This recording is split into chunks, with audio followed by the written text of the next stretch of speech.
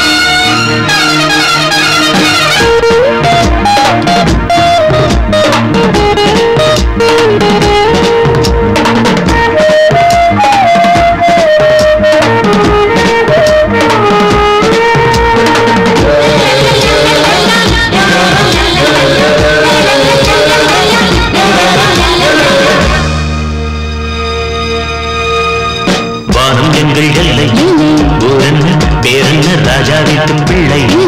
இங்கேயும் எங்கேயும் சந்தோஷம். உள்ளத்தில் இனிக்கிற உல்லாசம்.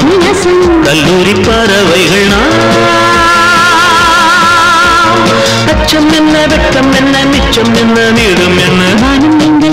எல்லை பேரென்ன ராஜா வீட்டு பிள்ளை. இங்கேயும் எங்கேயும் சந்தோஷம். சந்தோஷம். உள்ளத்தில் இனிக்கிற உல்லாசம். உல்லாசம். கல்லூரி பறவைகள்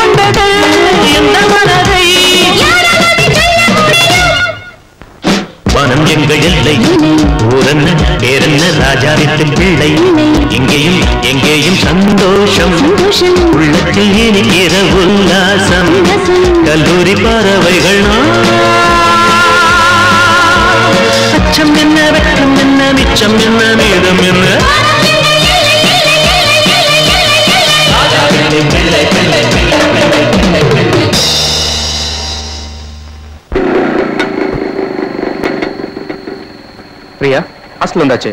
இப்ப மணி என்ன தெரியுமா? பன்னெண்டு தான் ஆகுது. இதுக்கு தான் உங்க கூட வர்றதுக்கு எனக்கு பயம். ஏன்? உங்க கூட இருந்தா நேரம் போறதே தெரியல. இன்னும் கொஞ்சம் லேட்டா வந்திருந்தா மேட்டனே என்ன தேடி வந்தாலும் வந்திருப்பாங்க. பன்னெண்டு மணி வரைக்கும் தான் பெர்மிஷன் வாங்கியிருந்தேன். நீ ஒரு பைத்தியம். ஒரு மணி வரைக்கும் வாங்க கூடாதா ஆ, ஆசையை பாரு. பன்னெண்டு மணிக்கு மேல போனா உள்ள வரக்கூடாது வெளியே போன்னு கேட்டை இழுத்து மூடிடுவாங்க. ரொம்ப நல்லதா போச்சு. இப்படியே ஜாலியா போய் ஹோட்டல்ல ரூம் எடுத்தங்க போ ஏறிக்க. முதல்ல இங்க இருந்த இடத்த காலி பண்ணுங்க. கொஞ்சம் விட்டா போதுமே. பேசிக்கிட்டே இருப்பீங்க. முதல்ல நீங்க ஆ போறேன். ம் பாத்துக்கோங்க பெரிய ஹீரோ மாதிரி வண்டி ஓட்டி எங்கேயாவது மோதிக்காதீங்க. உத்தரவு மகாராணி நீங்க போங்க. இன்னும் போலியா கொஞ்சம் பாத்துட்டு போறேனே. இவ்வளவு நேரம் பார்த்தது போதாதா? பிரியா. என்ன? வாட்ச்மேன் இல்ல. ரோட்லயும் யாரும் இல்ல. ஒரு ஃபைனல் டச் அச்சோ.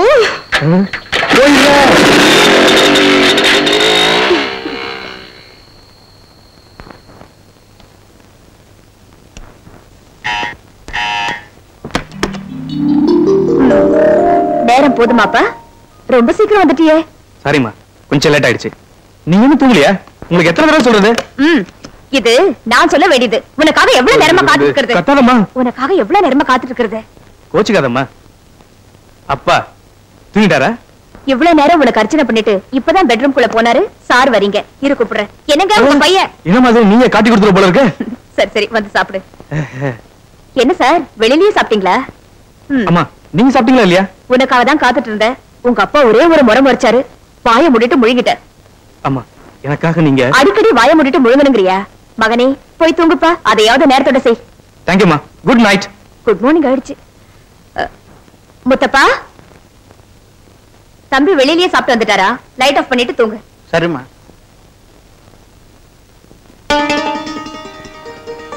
கண்ணா கொஞ்சம் சாப்பிடு. இருமா நான் இன்னும் ஹோம்ஒர்க்கே எழுதி முடிக்கல. அதுக்குள்ள சாப்பிட்டு சாப்பிட்டுன்னு உயிரை வாங்குறீங்க ஸ்கூலை விட்டு வந்ததும் ஹோம்ஒர்க் எல்லாம் செய்ய வேண்டியதானே? இப்பயே காலை சுடு தண்ணி விழுந்த மாதிரி குதிக்கிற. ஏமா நீயே சொல்லி நீயே மாத்திர பாத்தியா? நான் என்னடா சொன்னேன் நீ தானே அப்பா கிட்ட அடிக்கடி சொல்வ. ஆபீஸுக்கு போனா ஆபீஸ் வேலையோட இருக்கணும். வீட்டுக்கு வந்தாச்சுன்னா வீட்டு வேலையோட இருக்கணும்னு. அது உங்க அப்பாவுக்கு சொன்னேன் உனக்கு இல்ல. இந்த சாப்பிட. இந்த பிசினஸ் மேனோட ஸ்பெல்லிங் என்னம்மா? இதுக்கெல்லாம் உங்க அப்பாக்கு வச்ச மாதிரி உனக்கு ஒரு செக்ரட்டரி வைக்க வேண்டியதா? பேசாம சாப்பிடு. ஐயோ பஸ் வந்தாச்சு பஸ் வந்தாச்சு. Teddy homework homework homework எழுதலையே.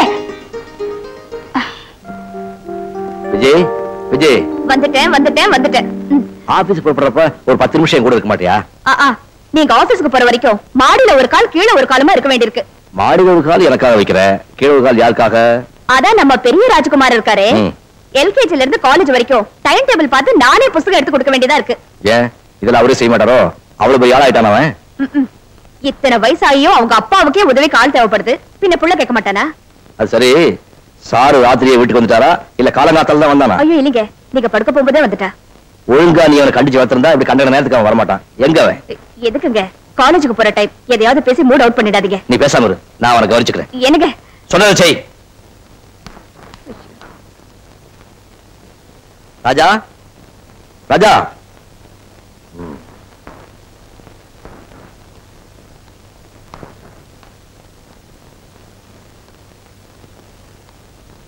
வா எங்கே நேத்துக்கு பிக்னிக் போயிருந்தியா? சொல்லு. ஆமாம்பா. ஜாலி தானா நல்லா இருந்ததுப்பா. ஏன்டா போன உடனே திரும்பி வந்துட்டீங்க? ஒரு நைட் ஸ்டே பண்ணி இருக்க வேண்டியதானே ஸ்டே பண்ணிருப்பேன்ப்பா நீங்க கொடுத்தது ஐநூறு ரூபாய் தான். பணம் பத்தல. முட்டாள் சொல்லி இன்னொரு பணம் கொடுத்துருப்பான்ல? ம். ராஜா இந்தாப்பா கர்ச்சு அஹ், எதுக்குமா? அப்பா திட்டின திட்டுல கண்ணெல்லாம் கலங்கி போயிருக்குமே தொடச்சுக்க.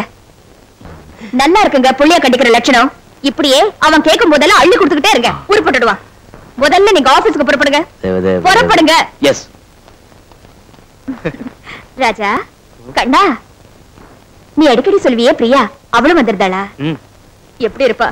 ஆள் அழகா இருப்பா. வெரி இன்டெலிஜென்ட் என்ன பிடிச்சிட்டு இருக்கா எம்பிபிஎஸ் ஃபைனல் இயர் டேய் பிரியாவை நான் ஒரு தடவை பாக்கணும்டா அவ்வளவுதானே? நாளைக்கே கூட்டி வந்துடுறேன். அப்பா இருந்தாரா உங்க அப்பா. அத சாதாரணமா ஏமாத்திடலாம். எப்படி எப்படி? நீ என்ன பண்ற. காலையில ஒரு பத்தரை மணிக்கு பிரியாவை வர சொல்லு. ஒன்பதரை மணிக்கே அத ஆபீஸ்க்கு பேக் பண்ணிடுவோம். ஓகே. அது.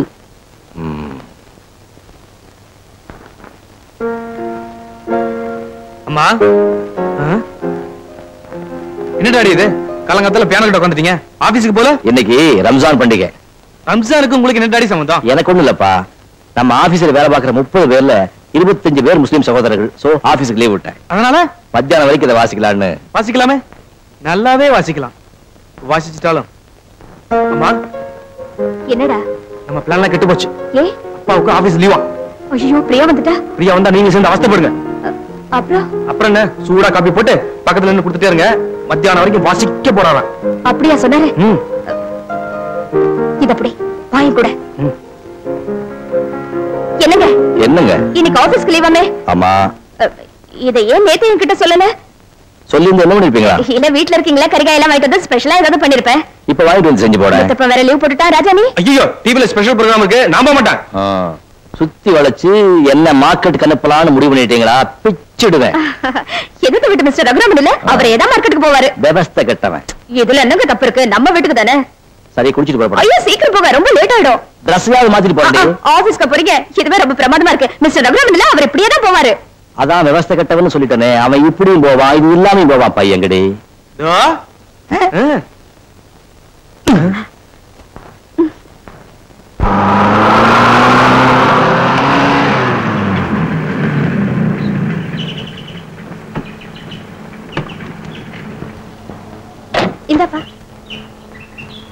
ராஜா பக்கத்துல வந்திருக்க?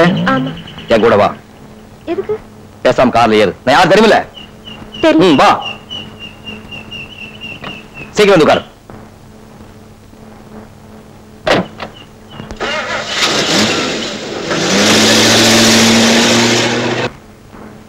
எத்தனை நாள் அந்த பழக்கம்? அப்பப்ப கடிப்பேன். நான் அதை சொல்லல. ராஜாவுக்கு உனக்கு எவ்வளவு நாள் அந்த பழக்கம்னு கேட்டேன். ரெண்டு மூணு வருஷமா. எந்த காலேஜ் மெடிக்கல் காலேஜ் அப்பா அம்மா எங்க இருக்காங்க? ஹாஸ்டல்ல. ஐ மீன் நான் ஹாஸ்டல்ல. அப்பா அம்மா முதல்ல இருக்காங்க. ரொம்ப பயந்துட்டியா. அம்மாவும் பிள்ளையும் சேர்ந்து என் கண்ணுல மண்ணை தூவ பார்த்தாங்க. அவங்க கண்ணுல மண்ணை தூவிட்டு நான் உன்னை இங்கே கூட்டிட்டு வந்துட்டேன். எப்படி? மாட்டிக்கிட்டோம். வசமா மாட்டிக்கிட்டோம். மார்க்கெட் போன அப்பா திரும்பி வர போறாரு இவ்வளவு அந்த நேரத்துல வந்து நிக்க போறா? சுத்தம். இங்க போய் தொலைஞ்சாலோ? டேய் நல்ல வார்த்தையா பேசுடா. பாவம். எங்க போய் மாட்டிக்கிட்டு என்ன அவசப்படுறாளோ ஐயோ அது வேண்டாங்க. அழுகி இருக்கு அப்படியா? அப்ப சிரிச்சுக்கிட்டு இருக்கிறத பார்த்து நீ என சரி. இந்த குடமிளகா என்னப்பா விலை? நாலு ரூபாமா இந்த கூடையில இருக்கிற மிளகா மொத்தம் என்ன விலைன்னு கேட்கல ஒரு கிலோ மிளகா என்ன விலைன்னு தான் கேக்குறேன். அதாம்மா நாலு ரூபாங்கிறமில்ல. ஊர் கூட ரெண்டு ரூபான்னு விக்கிறாங்க. நீ என்னடா நாலு ரூபாங்கிறியே? ரொம்ப அநியாயம். நீங்க வாங்க வேற. கோச்சுக்காதீங்க. மூணு ரூபாய்க்கே போடுறேன். சரி சரி ரெண்டு கிலோ போடு.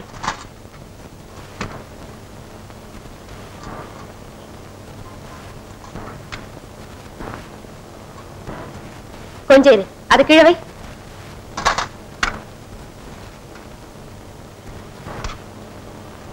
என்னப்பா இது? இந்த இப்ப எடை போடு.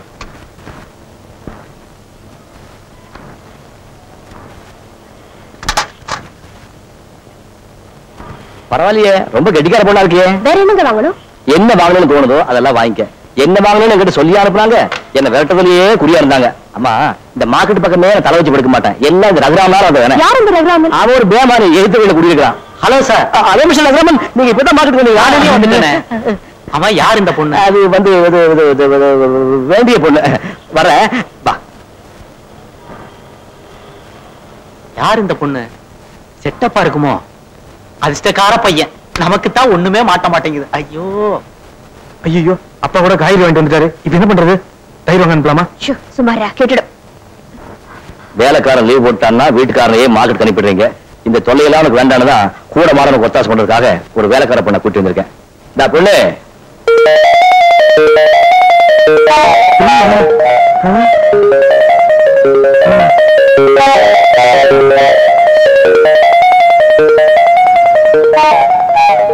இவளுங்க எப்ப பிடிச்சிங்க? சைக்கிள் கடையில பஞ்சர் போட்டுக்கிட்டு இருந்தா அங்கிருந்து பிடிச்சிட்டு வந்தேன். சைக்கிள் வந்தியா?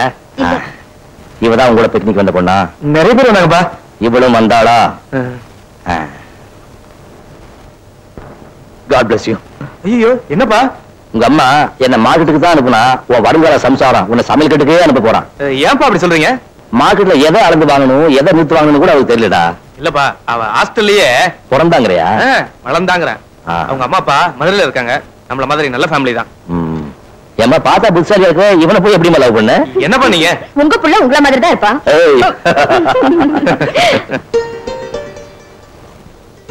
ஏமா நீ ராஜாவை காதலிக்கிற விஷயம் உங்க அப்பா அம்மாவுக்கு தெரியுமா? அப்பாக்கு தெரியாது. அம்மா கிட்ட ஜாடையும் சொல்லிருக்கேன் இந்த மாதிரி விஷயத்த கேட்கறதுக்குன்னு ஒவ்வொரு வீட்ல ஒவ்வொரு அம்மா இருக்காங்க. அது சரி நீ ராஜாவை கல்யாணம் பண்ணிக்கிறதுல அவங்களுக்கு ஒண்ணும் தடை இருக்காதே. என் விருப்பத்துக்கு மாறா எங்க அம்மா அப்பா எதுவும் செய்ய மாட்டாங்க. கண்ட என் பையன் தெரியும். ராஜா கூட பாத்திருக்கேன் அது சரி. கெட்டிக்காரிதான் வீட்ல எல்லாரையும் தயார் பண்ணிட்டு கடைசியா என்கிட்ட சொல்லிருக்க. ரொம்ப தேங்க்ஸுங்க இப்போது சொன்னீங்களே. இன்னைக்கு சமையல் சப சப சபன்னு ஒண்ணுமே சரியா இல்லையே என்னப்பா அப்படி சொல்றீங்க? பீர்க்கங்காய் பொரியல் கீரை மசிகள் சாப்பாடு ஜோரா இருக்கு. சொல்ல மாட்டேன். இன்னைக்கு சமையல் பண்ணது புரியல எனக்கு என் ஆள் பண்ணா தான் பிடிக்கும்? அப்ப எனக்கு யார் பண்ணா பிடிக்கும்? உங்களுக்கு? ஆ கூடிய சீக்கிரம். ஏற்பாடு பண்ணிடுவோம். பிரியா நாளைக்கு உனக்கு லீவ் தானே? இன்னைக்கு எங்கேயே தங்கிட. வந்து. ஏ உனக்கு இங்க இருக்கிறதுக்கு பிடிக்கலையா? அப்படி இல்ல ஒண்ணும் இல்ல. ஹாஸ்டல் வார்டன் கிட்ட பெர்மிஷன் வாங்கணும். அவ்வளவுதானே? ராஜா இப்பவே போன் பண்ணி வார்டனுக்கு சொல்லிடு. ஐயோ அவன் தங்க கட்டி இந்த மாதிரி விஷயத்துல எல்லாம் மாட்டேன்னு சொல்லவே மாட்டானே. போங்கப்பா ஆ, பிரியாவை பத்தி என்ன நினைக்கிறீங்க? கறிகள்லாம் பொறுக்கி எடுத்து கராரா விலை பேசி தான் வாங்குறான். சமையல் கறியை வச்சுக்கலாம். எப்ப பார்த்தாலும் கிண்டல் தான். பொண்ணு உங்களுக்கு பிடிச்சிருக்கா? நமக்கு பிடிச்ச என்ன பிடிக்காட்டி என்ன பையனுக்கு பிடிச்சு போய் தானே ஒரு முடிவோட வீட்டுக்கு கூட்டி வந்திருக்கான். நீ நான் நிறுத்திட முடியுமா? நான் அதுக்கு சொல்லலைங்க. என்ன இருந்தாலும் பிரியாவோட அப்பா அம்மாவை பத்தி பேச வேண்டாமா? அதுக்காகத்தான் நானும் ராஜாவும் அடுத்த வாரம் மதுரைக்கு போக போறோம்.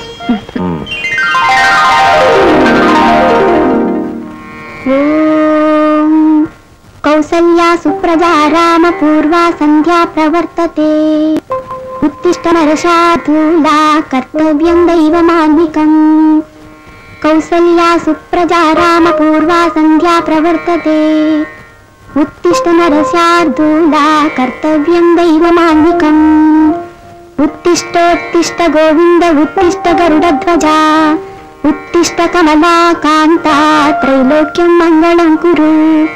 మాత సమస్త జగతాం మధుకైటకారే వక్షో విహారి మనోహర దివ్యమూర్తే. శ్రీ స్వామిని స్త్రిత జన ప్రియదానుశీలే శ్రీ వెంకటేశ దైతే తవ సుప్రభాతం. తవ సుప్రభాతమరవిందలోచనే. భవతు ప్రసన్నముఖ చంద్రమండలే. ஜானகி தான் இந்த மோதிரத்தை வாங்கினான். பிரியா ராஜாவோட அம்மா தான் ஜானகின்னு இவன் ஏற்கனவே உங்கள்கிட்ட சொல்லியிருப்பான்னு நினைக்கிறேன். அது மட்டும் இல்லை விஜயோட சொந்த அக்கா.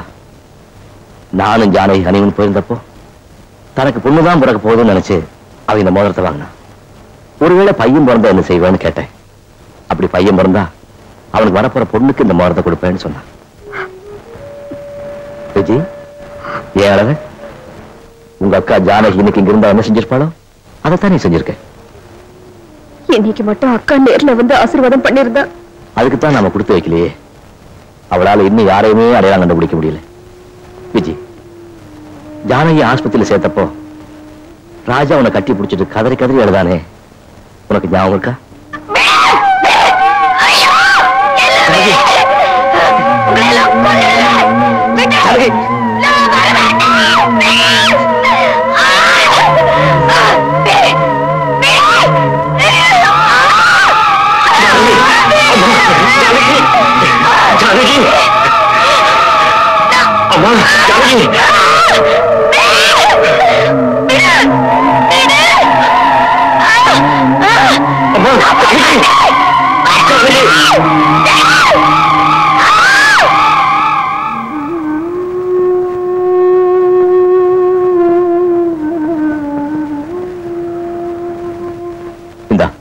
இந்த பிரியா கையில போட்டு.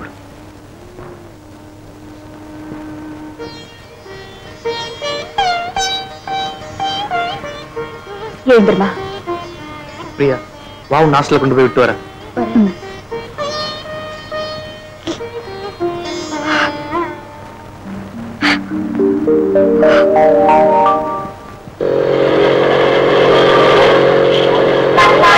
பிரியா இன்னைக்கு ஈவினிங் நான் உன்னை மீட் பண்ணட்டுமா?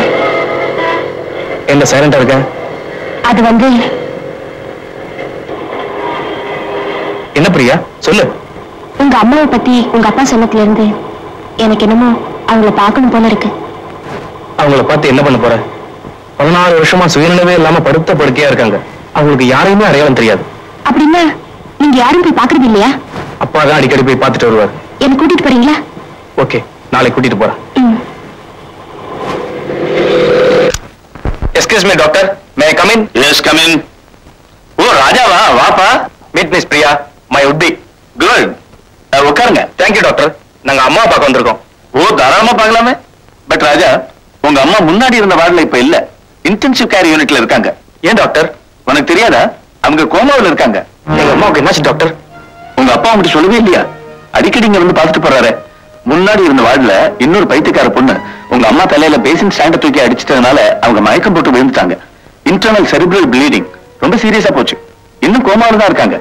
இது நடந்து ரொம்ப நாள் ஆயிடுச்சு. நான் எங்க அம்மாவை பார்க்கலாம் டாக்டர். ஷூர் சார் இவங்களை இன்டென்சிவ் கேர் யூனிட்டுக்கு அழைச்சிட்டு போ. தேங்க்யூ டாக்டர் வாங்க.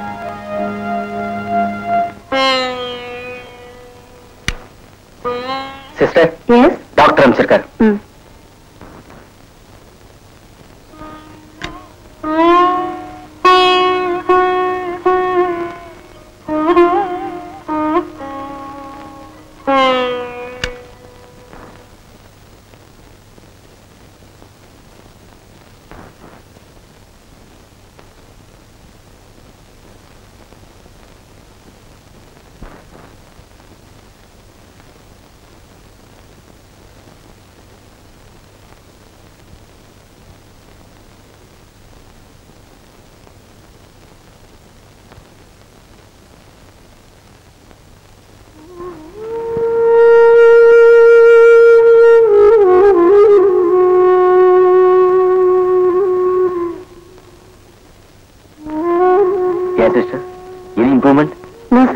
Sir observation on the twenty four hours அவங்க இன்னும் அசைவு கூட இல்லை.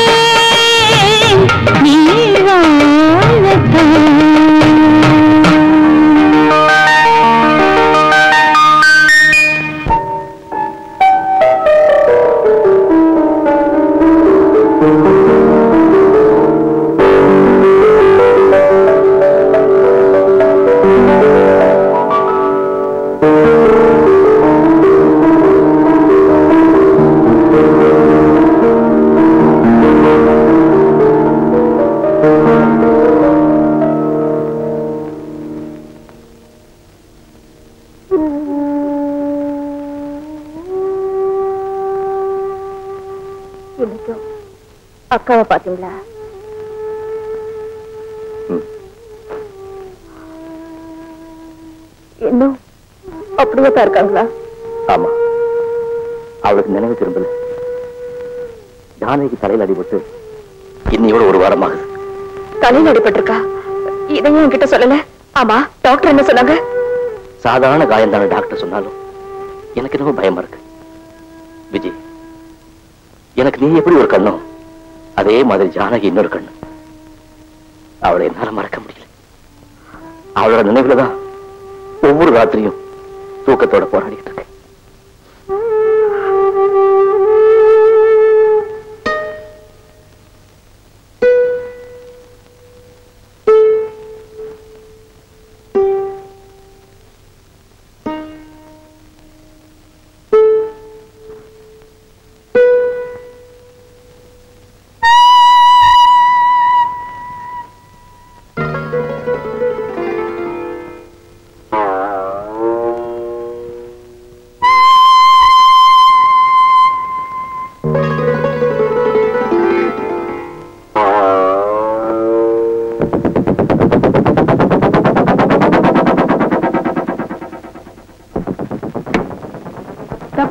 ஜானகம்மாக்கு நினைவு திரும்பிருச்சு. அப்படியா?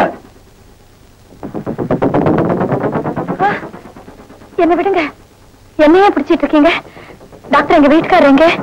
விஜய் எங்க டாக்டர்? நீங்க அவங்களை விட்டுருங்க. உட்காருங்கம்மா. உட்காருங்க. பெத்தடி எடுத்துப்பா ஓகே. டாக்டர் எனக்கு என்ன ஆச்சு ஓ நான் நாங்க மயக்கமா விழுந்துட்டேன்ல? ஆமாம்மா. ரொம்ப நாளாவே நீங்க மயக்கமா இருந்தீங்க. கொஞ்சம் ரெஸ்ட் எடுத்துங்க. ஆ ரெஸ்ட் எடுங்க.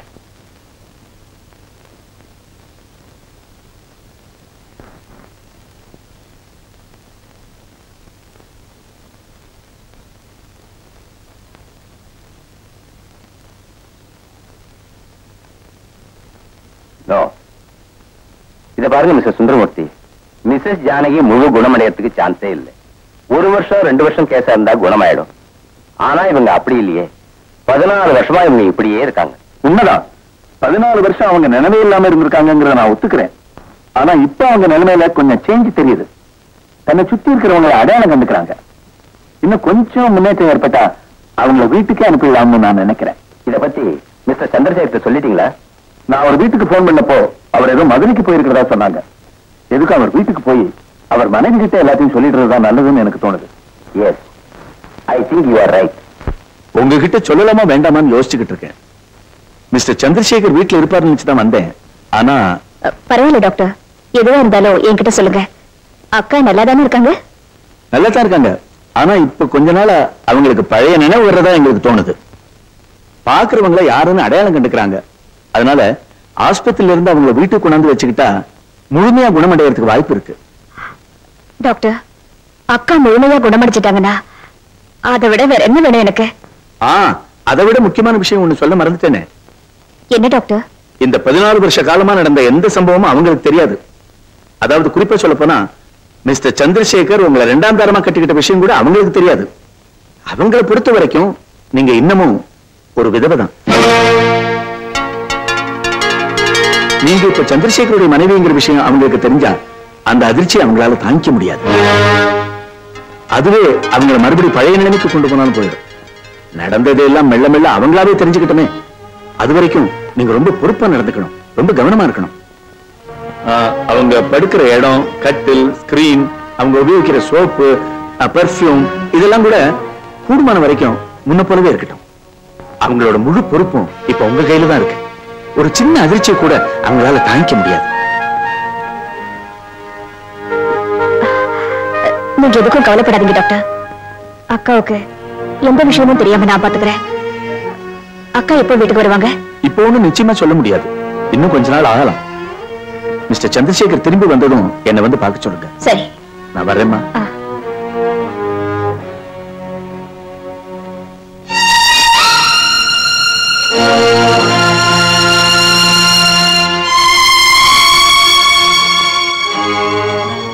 அக்காவுக்கு உடம்பு சரியாயிடுச்சாமா ஆமா முத்தப்பா. கடவுள் புண்ணியத்துல கூடிய சீக்கிரம் அக்கா வீட்டுக்கு வந்துருவாங்க. ஆனா பதினாலு வருஷத்துக்கு முன்னால இந்த வீடு எப்படி இருந்ததோ அப்படியே மாத்திரமா நான் என்ன செய்ய போறேன்னு எனக்கு தெரியல. பேச்சு நாற்காலி வேணா மாத்திக்கலாம். ஆனா நடந்து போன சம்பவங்களை எப்படி முத்தப்பா மாத்த முடியும்? ஆடி முடிஞ்ச ஆட்டத்துல ஆரம்பத்துல இருந்த இடத்துக்கே காய்களை நகர்த்துறதா அது எப்படி முடியும்?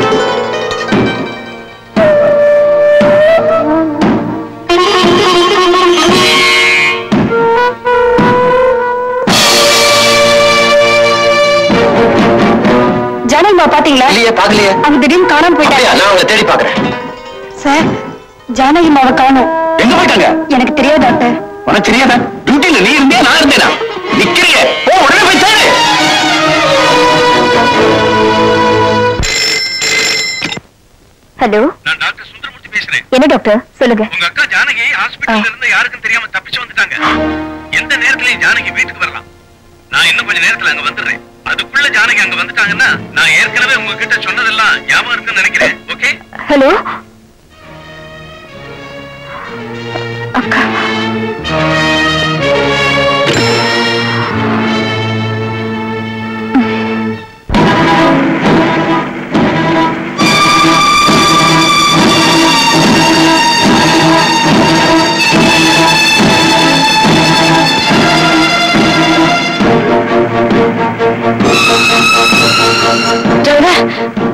கொஞ்சம் நிறுத்து.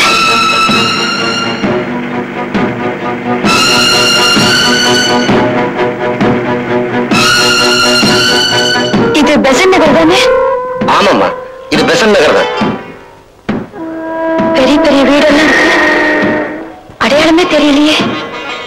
இது ரொம்ப நாளா இருக்குமா? ரொம்ப வருஷம் கழிச்சு இப்பதான் வரேன். இடது பக்கமா போ.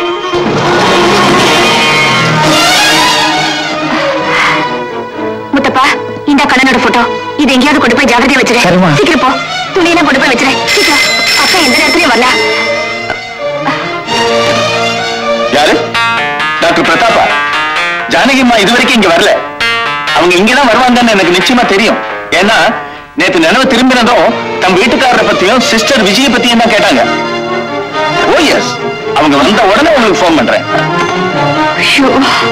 இப்ப நான் என்ன பண்ணுவேன்?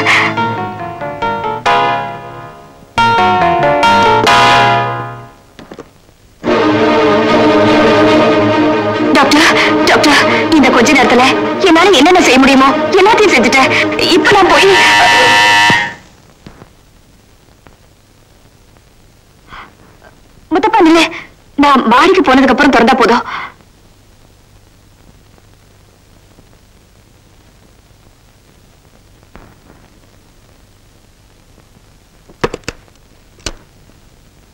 வாங்கம்மா. முத்தப்பா. நீ இன்னும் அப்படியே இருக்க முத்தப்பா.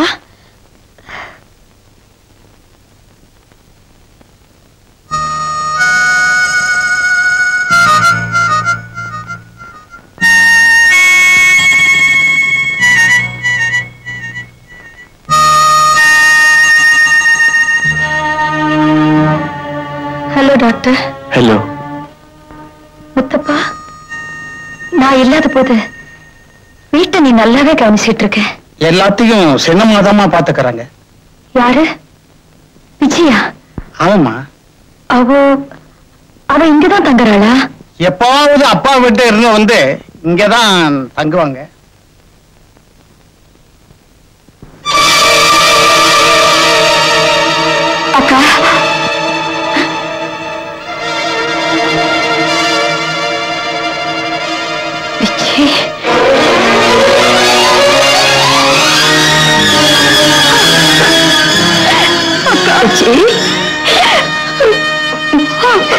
நிச்சயமா? நிச்சயமா? நிச்சயமா?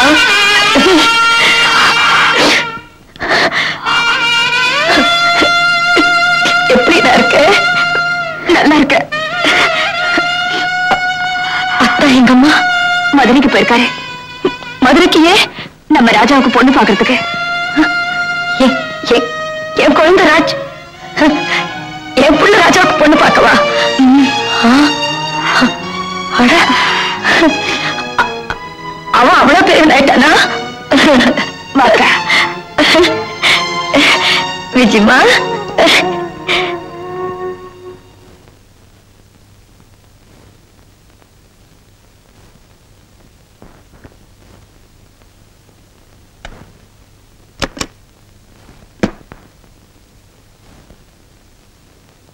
ராஜா பொட்டிக்கிட்டு உட்காந்து என்னப்பா பண்ணிட்டு இருக்க? போட்டோ பார்த்துட்டு இருக்கியா போட்டோவா ஏது போட்டோ டேய் நான் உங்க அப்பன்டா. காதல் ஞாபகார்த்தமா ஒரு போட்டோ வச்சுக்குவாங்கன்னு கேள்விப்பட்டிருக்கேன். துணிக்கு துணிக்கா போட்டோ வச்சுக்குவேன். குளிக்கிறதுக்கு டவல் எடுத்தா அது கூட ரெண்டு போட்டோ உதவிட்டு குளிக்க வேண்டியதா போச்சு? ஏன்பா பிரியாப்பா நம்மள எத்தனை மணிக்கு வர சொல்லிருக்காரு இப்பவே போலாமா? உன் மாமனாரு லஞ்சுக்கு தான் வர சொல்லியிருக்காரு. பிரேக்ஃபாஸ்ட்டுக்கே போனா ரொம்ப சீப்பா நினைப்பாரு. நான் ஒண்ணு பண்றேன். மீனாட்சி அம்மன் கோயில ஒரு சுத்தி சுத்திட்டு நேரா லஞ்சுக்கு மாமனா வீட்டுக்கு போயிடுறேன். நீ போட்டோல எடுத்து ஒண்ணு அடிக்கி ஒரு ரவுண்டு பாத்துடு அஹ், அப்பா என்ன விட்டு போயிடாதீங்கப்பா. நானும் வரேன்பா ஓகே உன்னையும் கூட்டிட்டு போறேன். ஆன் ஒன் கண்டிஷன் என்னப்பா? குளிச்சிடுறா. நீங்க ரொம்ப வேடிக்கையா பேசுறீங்களே. நீங்க சொன்னது எனக்கு ரொம்ப சந்தோஷமா இருக்கு. ஏன்னா ஜோக்கு நினைச்சு நான் ஏதாவது சொன்னா என் பொண்டாட்டி உடனே அழுதுடுவா. ஐயோ அப்படி அறுக்கிறீங்களே காஃபி சாப்பிடுங்க ஆறி போயிடும். இந்த பாருங்க பையன் உங்களுக்கு பிடிக்குதோ இல்லையோ பிரியா உங்களுக்கு பிடிச்சு போச்சு. நீங்க சம்மதிக்கலன்னா பிருத்திவிராஜ சமீபத்தை தூக்கிட்டு போன மாதிரி பிரியாவை குதிரையில கார்ல தூக்கிட்டு போயிடுவோம் அவங்க ரெண்டு பேருமே சேர்ந்து முடிவு பண்ணிட்டாங்க. நாங்க இப்ப சொல்றதுக்கு என்னங்க இருக்கு? பிரியாவுடைய விருப்பம் தான் எங்களுடைய விருப்பமும். இருந்தாலும் மத்த விஷயங்கள்லாம் பேச வேண்டாமா? மத்த விஷயங்கள்னா? அதாங்க இந்த வரதட்சணை நகை நட்டு அதெல்லாம். பையனுக்கு வரதட்சணை வாங்குற வழக்கம் எங்களுக்கு இல்ல. பொண்ணுக்கு நீங்க வாங்குற வழக்கம் இருந்தா சொல்லுங்க கொடுத்துடுறோம். அக்கா ஹீட்டர் ஆன் பண்ணிருக்கேன். சீக்கிரமா குளிச்சுட்டு வாங்க.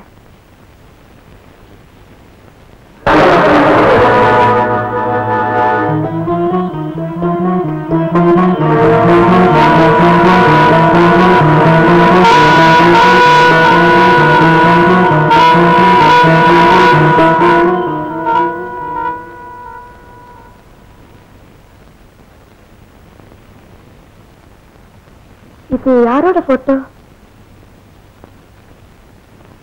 ஆ அது நம்ம ராஜாவோட போட்டோ தான். சின்ன வயசுல எடுத்தது. அப்படியா? அப்ப இப்படியா இருந்தா எனக்கு எல்லாமே மறந்து போச்சு. ஒரு ஏழு வயசு இருக்கும்ல? எப்படி குறும்பா பாக்குறான் பாரு. அவங்க அப்பாவையே உரிச்சுக்கிட்டு பிறந்திருக்கான். ஆமா நேரம் வச்சு போய் குளிச்சுட்டு வா.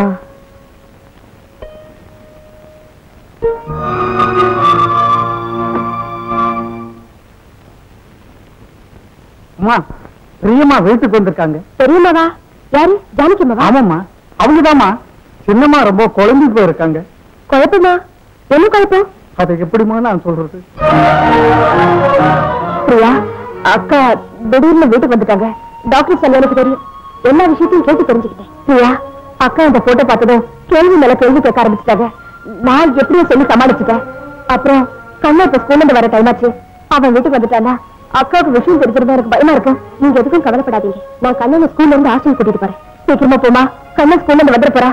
நான் இப்பவே போறேன்.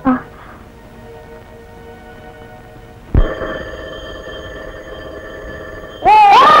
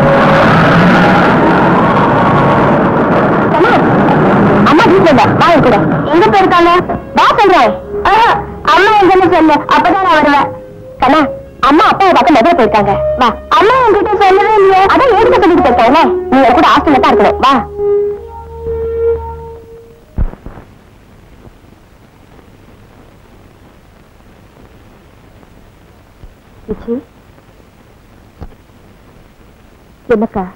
நெத்தில வச்சுக்க கொஞ்சம் குங்குமம் கொடுமா. ஓ. வாங்கிட்ட எப்படி இருக்கும்? நான் நான் தெரியாம கேட்டமா தப்பா நினைச்சுக்காத. அந்த பாலா போன ஆண்டவன் தான் என்னோட பூவையும் பொட்டையும் பறிச்சிருக்கானே. என் விதி இப்படித்தான் நடக்கணும்னு இருக்கு. அதுக்கு எங்க அந்த ஆண்டவனை திட்டுறேன்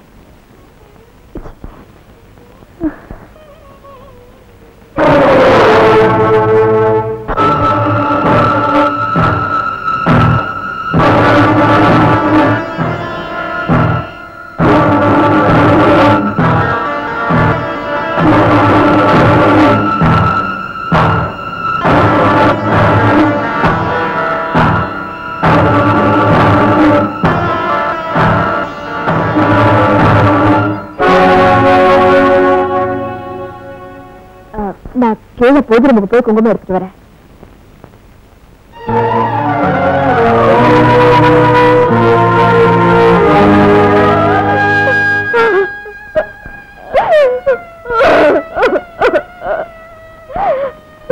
கடவுளே இது என்ன சோதனை? இதெல்லாம் தாங்கிக்கிற தைரியத்தை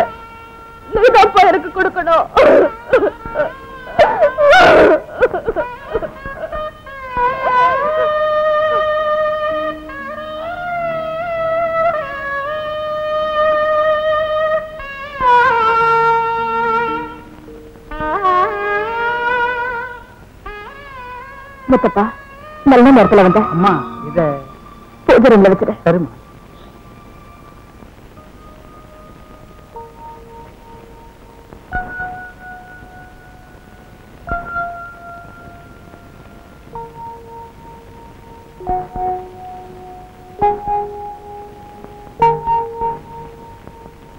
இந்தாக்கா குங்குமம்.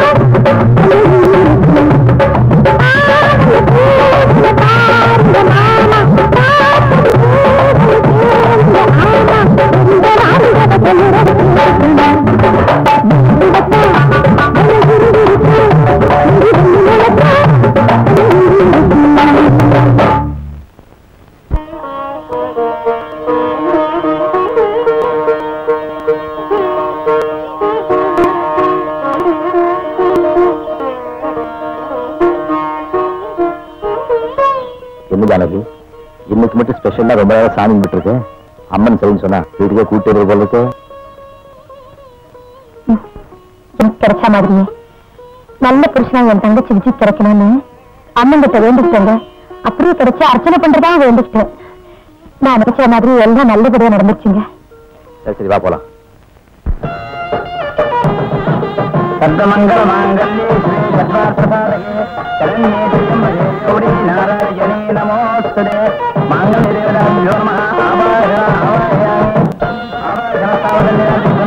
मुद्रामृतस्य मङ्गलेभ्यः समत्तो जर्वोजन् समर्पय माङ्गल्यं दण्डुनानेन मम जीवनहेतुना गन्धे भद्रापि समगन्धेव दरदर्शनम् माङ्गल्यमुहूर्तशुभमुहूर्तो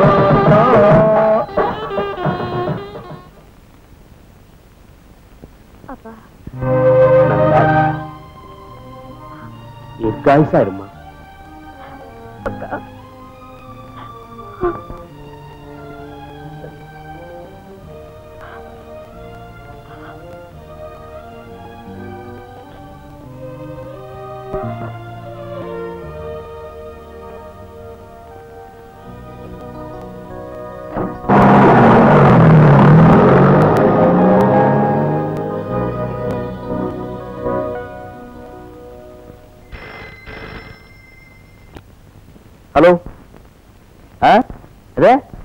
சொல்லுங்க.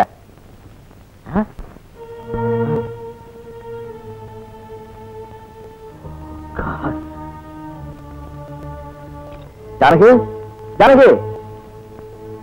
வரங்க. சீக்கிரம் என்னாச்சு? என்னாச்சு?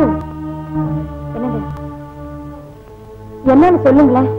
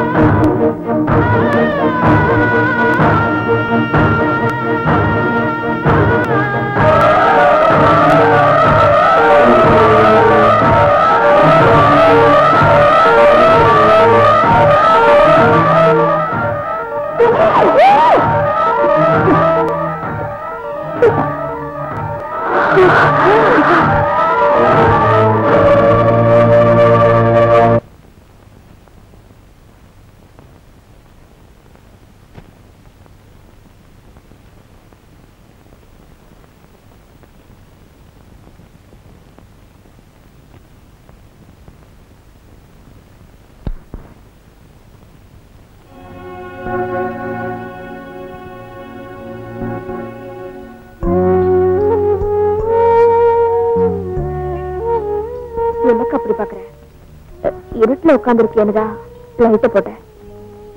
விச்சி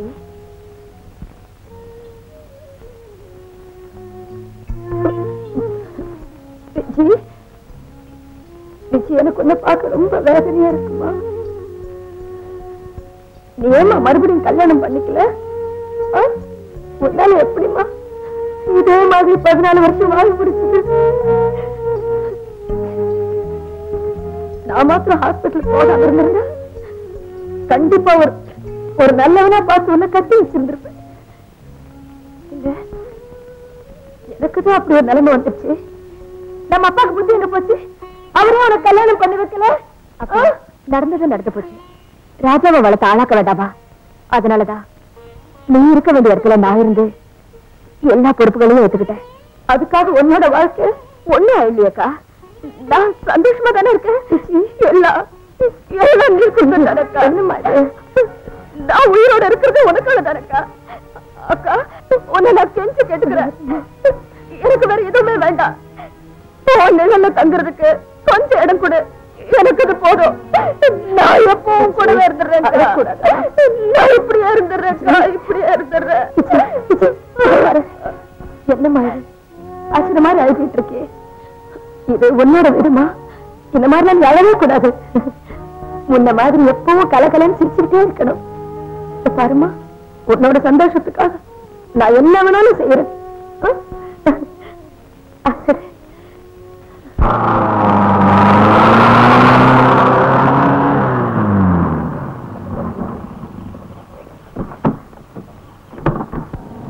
ராஜா உன் கல்யாண விஷயத்த இவ்வளவு சீக்கிரத்துல பேசி முடிச்சிட்டோம்னு தெரிஞ்சா விஜய் ரொம்ப ஆச்சரியப்படுவா ஆமாப்பா நீங்க அம்மா ஆச்சரியப்படுவீங்க. நாஸ்டலுக்கு போய் உன் நிலைமை எனக்கு புரியுதா தாலி கட்ட வரைக்கும் கொஞ்சம் பொறுத்துக்கா. சரி பெட்டியில இறக்கி வச்சுட்டு போ அப்படியே போயிடாத. சரிப்பா. வந்தாச்சு.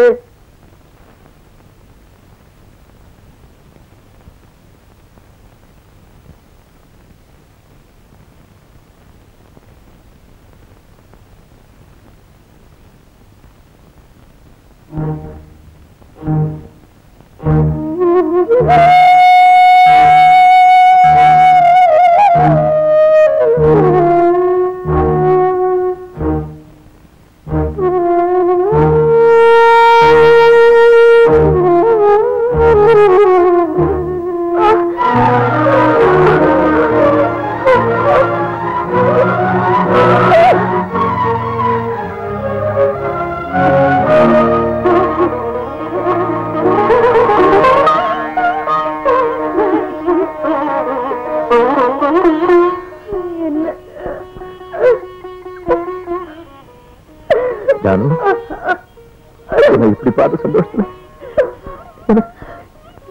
என்ன பேசுறதுன்னு தெரியல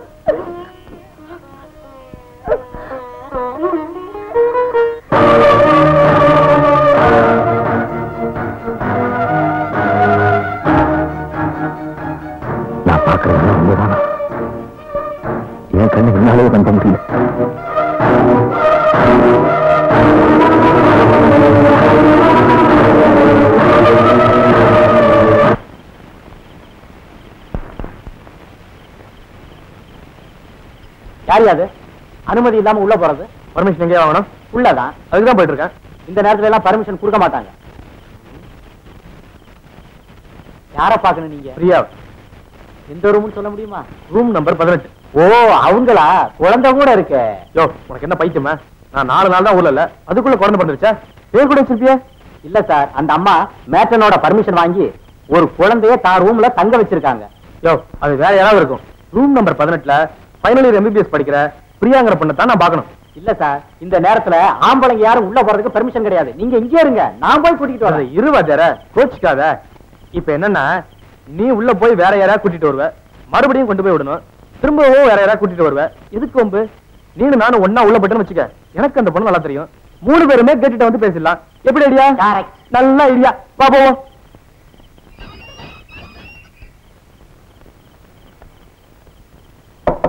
பிரியா பிரியா ராஜா நீங்களா? எப்ப ஊர்ல இப்பதான். இவங்க தான் பிரியா. இவங்க கிட்ட தான் பேசணும்னு சொன்னா பேசலாமா? சீக்கிரமா வாங்க சார். என் பழத்துல மண்ணள்ளி போட்டுறாதீங்க. ராஸ்கல். இது என்ன சொன்னா தெரியுமா? என்ன சொன்ன? உனக்கு ஒரு குழந்தை இருக்குன்னு சொன்னான். உண்மைதான். குழந்தை இருக்கு. வாட் குழந்தை உனக்கா?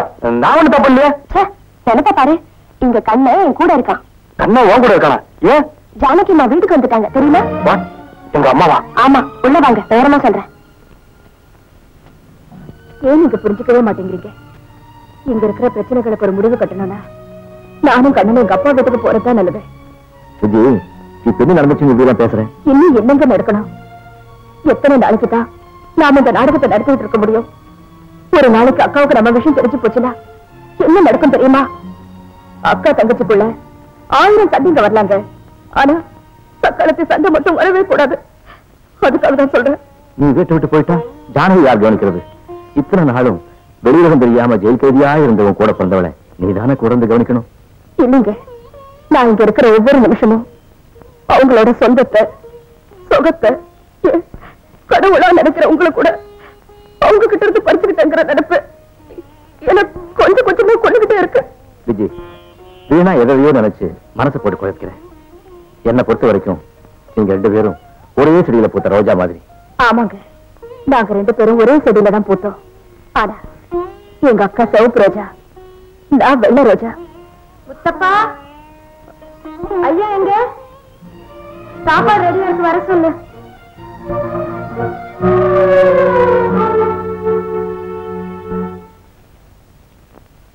அம்மா.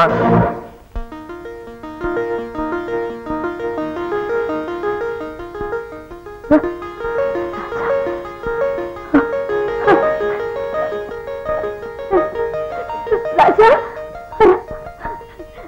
ராஜா. ராஜா. என்னோட ராஜா. ராஜா. நீ என்ன அம்மாவை நீ எவ்வளவு பெரியவனா வளர்ந்துட்ட? ராஜா. என் ராஜா.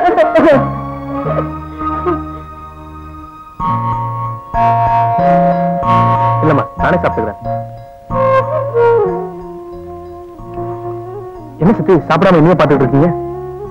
உன்னையும் உங்க அம்மாவையும் சேர்த்து பாக்குறதுக்கு எவ்வளவு சந்தோஷமா இருக்கு தெரியுமா? என்னது கண்ணு வைக்கிற? பாருங்க கண்ணு வைக்கிறா?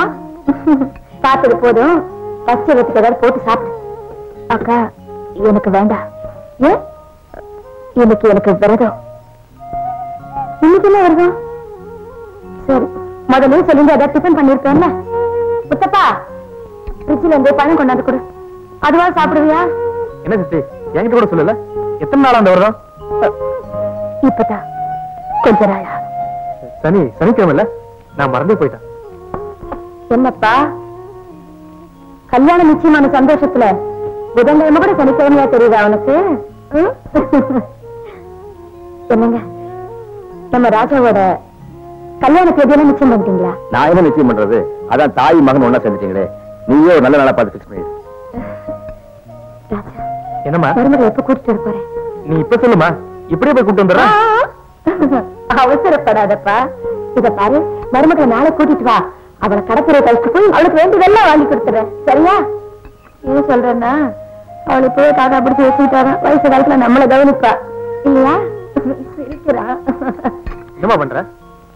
திருஷ்டி எடுத்தேன்ப்பா சாப்பிடு என்னக்கா பண்ற? நகர நான் பாத்துக்கிறேன். என் வீட்டு வேலையெல்லாம் நானே செஞ்சு. எத்தனை வருஷம் ஆச்சு? விஜி நான் இன்னும் உடம்புக்கு முடியாதவ நினைச்சிட்டு இருக்கியா? அதெல்லாம் ஒண்ணு இல்லக்கா. நான் இருக்கும்போது நீ எது கஷ்டப்படணுமேனுதா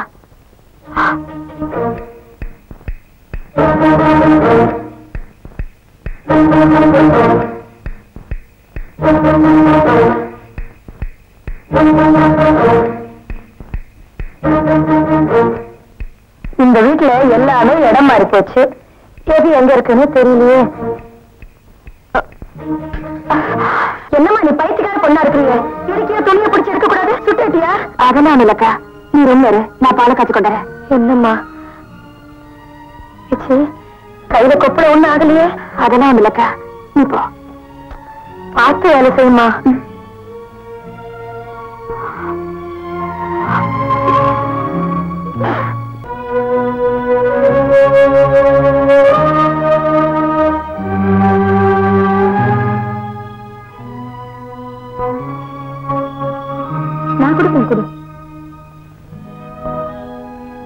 ராஜா தூங்கிருப்பானா இல்ல படிச்சுட்டு இருக்கா இப்ப வந்துடுங்க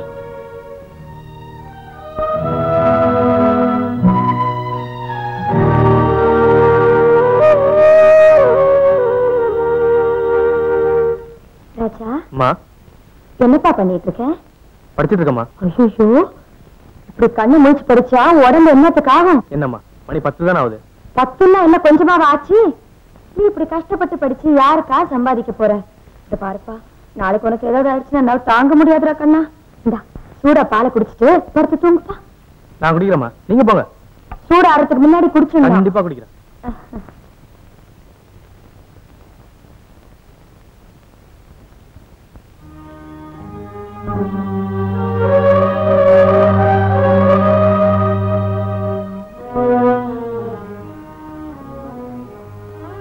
இத்தனை நேரம் கண்ணு மூச்சு படிச்சு இவன் யாருக்கா சம்பாதிக்க போறான்? படிச்சது போதும் உடம்ப கெடுத்துக்காத படுத்து தூங்குன்னு சொல்லிட்டு அவங்க பிள்ளை கிட்ட. என்னது இது மணி பத்தாவது இவன்னு முடிச்சிட்டு இருக்கா? போமா காலையில சீக்கிரம் எந்திரிக்கணும்ல போய் படுத்துக்க.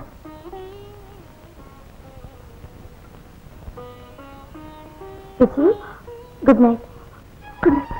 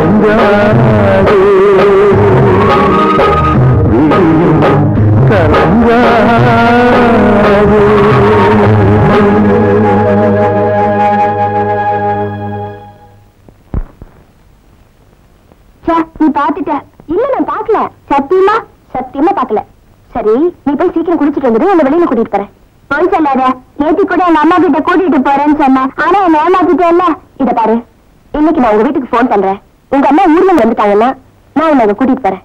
என்ன? சரிதானே? இந்த டிரைவர் அடிய குளிக்கட்டுமா? வேண்டாம் வேண்டாம். அப்புறம் உனக்கு போட்டுக்கு துணி இருக்காது. இந்தா இத கட்டிட்டு குளிச்சுட்டு நானே கட்டிக்கிறேன். நீ கண்ண முடிக்க. சரி நான் கண்ண முடிக்கிறேன். சீக்கிரமா கட்டு. இரு எதுக்கும் அவசரப்படாத. தப்புதான். கட்டியாச்சா? ம். அப்ப கண்ணு திறக்கலாம்ல? திறக்கலாம். சரி சீக்கிரமா போய் குளிச்சுட்டு சரி வாங்க சார் வாங்க குளிக்க வந்தீங்களா ஆமா. பொம்பளைங்க குளிக்கிற இடத்துல ஆம்பளைங்க குளிக்கலாமா? வெக்கமா இல்ல? நீ சொல்லாம இருந்திருந்தா எனக்கு வெக்கமா இருக்காது. என்னடி இது? சின்ன பையனை கலாட்ட பண்ணிட்டு? கண்ணா நீ பாப்பா என் கூட. எங்க? ரெண்டு பேரும் ஒன்னா சேர்ந்து குளிக்கத்தான் எதுக்கு? நீ என் முதுக்கு சோப் போட்டு விடுவியா? நான் முதுக்கு சோப் போடுவேனே? அதுக்கு வேற ஆள பாரு. அது சரி. பொண்ணுங்க கட்டுற தாவணி நீ இடுப்புல கட்டிருக்கியே. நீ ஆம்பளையா பொம்பளையா? இருடி. அது அவுத்து பார்த்துட்டு தெரியுது. ஐயோ! என்ன இது கொஞ்சம் கூட வெக்கம் இல்லாம சின்ன பையன்கிட்ட எப்படி விளையாடுறது? அவனை சமாதானப்படுத்த நான் பட்ட பாடி எனக்கு தெரியும்? உங்களுக்கு என்ன?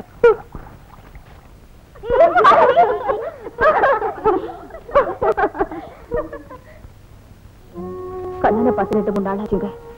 இன்னைக்கு நீங்க ஆபீஸுக்கு போகும்போது பிரியாவோட ஹாஸ்டலுக்கு போய் கண்ணா கண்ணா யாருக்கு என்னாச்சு? கண்ணுலையா உங்களுக்கா?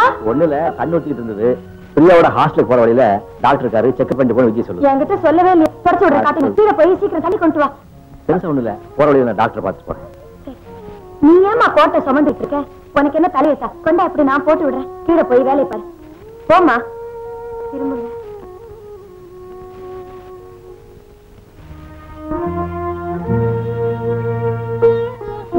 ரெடியா கண். என்ன அது கண்ணு? உனக்கும் கண்ணை உறுத்துதா இல்ல கண்ண ஜூஸ் விழுந்துருச்சுன்னு அவங்ககிட்ட தான் முதல்ல சொன்னேன். இல்லையா ராஜா? ஆமா. எல்லார்கிட்டயும் சொல்லியிருக்கீங்க. என்கிட்ட மாத்திரம் சொல்லவே இல்லையே. பரவாயில்ல அதனால அப்புறம் எனக்கு பிரியாவை பார்க்கணும். டாக்டர் வீட்டுக்கு போற வழியில் தான் அவளோட ஹாஸ்டல் இருக்குது. அவளை நீ கூட்டிட்டு வந்துற இத பாரு உங்க அப்பா மாத்திரம் பார்த்து சரின்னு சொன்னா போதாது. மாமியார் நானு. நான் சம்மதிச்சாதான் நீ அவ கழுத்துல தாலியே கட்டணும். ஏன்பா ஏன் ஒரு மாதிரி ஆயிட்ட? ஓ நான் ஏதாவது அவளை வேண்டாம் சொல்லிடுவேன் பயந்துட்டியா? இல்லடா கண்ணா எனக்கு என் மருமகளை பார்க்கணும்னு ஆசையா இருக்கு. கண்டிப்பா கூட்டிட்டு வாப்பா. சரிம்மா? ராஜா வா போலாம். அப்பா இன்னும் எத்தனை நாளைக்கு இப்ப இந்த விஷயத்தை மூடி மறைக்கிறது? நேத்து கூட டாக்டர் கிட்ட இது விஷயமா பேசிக்கிட்டு இருந்தேன். கொஞ்ச நாள் கழிச்சு ஜானகி கிட்ட சொல்லலாம்னு சொன்னார். கொஞ்ச நாள்னா? ரெண்டு மூணு மாசம் அப்பா பிரியா வீட்டுக்கு கூட்டிட்டு வரதா? அம்மாட்ட சொல்லிட்டு வந்தா பிரியா என் கூட வந்துட்டா? கண்ணன் என்னப்பா பண்றது? கண்ணனை நான் ஆபீஸ் கூட்டிட்டு போயிடுறேன். சரிப்பா.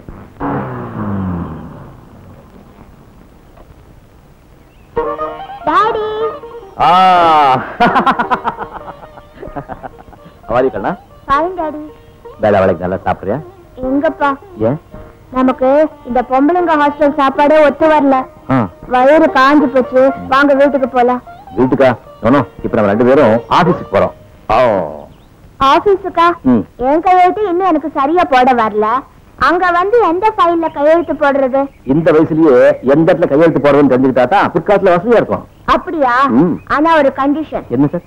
நம்ம working time ten to four தான். உங்க இஷ்டப்படியே செய்யுங்க. பிரியா ராஜா நம்ம வீட்டுக்கு போயிட்டு வா. நான் சாயங்காலமா கண்ணனுக்கு ட்ராப் பண்றேன். ஐயோ நான் இங்க வர மாட்டேன். வீட்டுக்கு தான் வருவேன். நான் இங்க வந்தா? நானும் வருவேன். அப்ப வண்டியில ஏறு.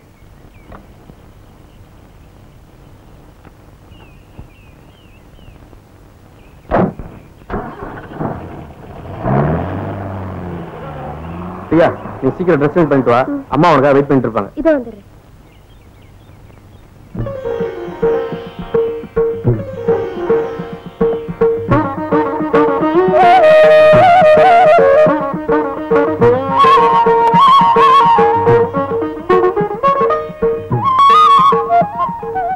நோய் இல்லாத வாழ்வும் குறையில்லாத செலவும் ஆண்டவன் கொடுக்கணும்.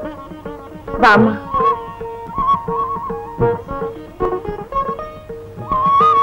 கொடுங்கம்மா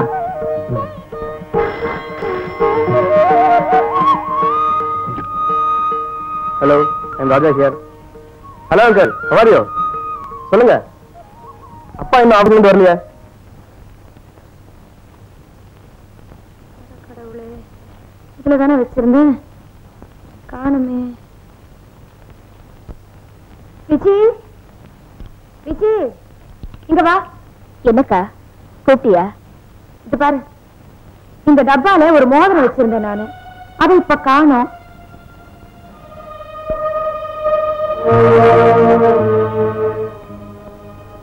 நீ பாத்தியா? இங்க தானே இருக்கும்.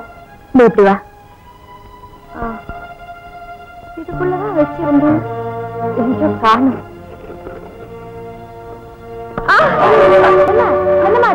ஒண்ணுல்ல. என்ன விஜய் நீ சின்ன பிள்ளையாட்டம் கையிலையும் காலையும் போட்டுக்கிட்டு. என்னம்மா அடிபட்டுருச்சா? இல்ல பரவாயில்ல. குடி மருந்து கொண்டு வரேன் இருமா வரேன்